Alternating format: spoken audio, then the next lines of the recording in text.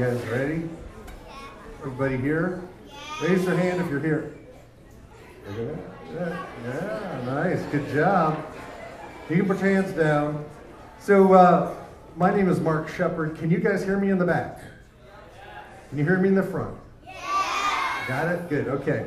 So, my name is Mark Shepard, and uh, can you all say Mark Shepard? Mark Shepard. You don't have to do that in the back. That's for these guys. Just saying.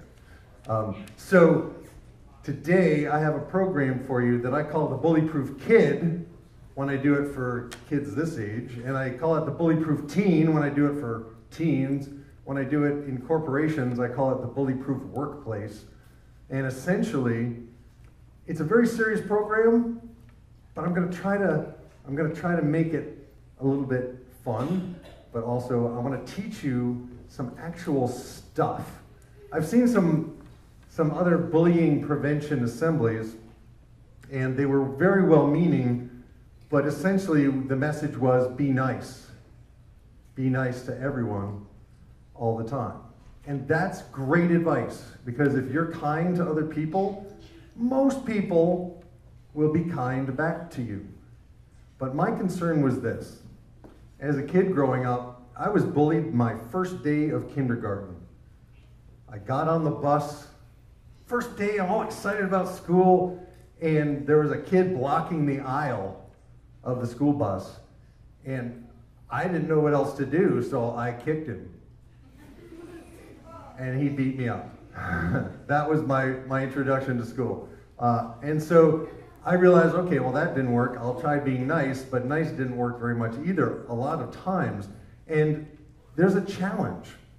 We are an animal, the human being, survived lions and tigers and bears and all kinds, saber-toothed tigers, you know? I mean, we are we're a violent animal. We have fought to protect ourselves and to hunt, and yet it doesn't work anymore because we actually have to hang out with each other all day, every day. And so the challenge is how do we stand up for ourselves when we meet someone in the world who did not get the memo to be nice?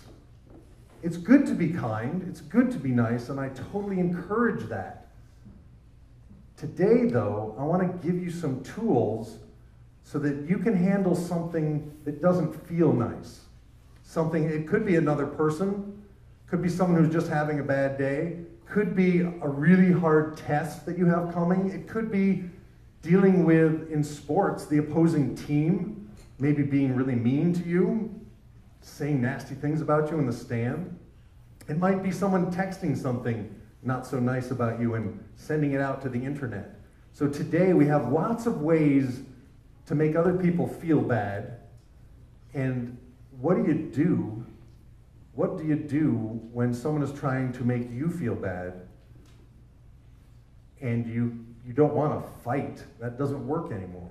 So today I'm going to give you hopefully some tools, some ideas, some techniques, so that no matter what happens in your life, you can come back to this day and remember the three things that I'm going to teach you. Would that be okay? Yeah. All right, cool. So I'm going to start off so that it's not just me talking at you. I'm going to start off with a song.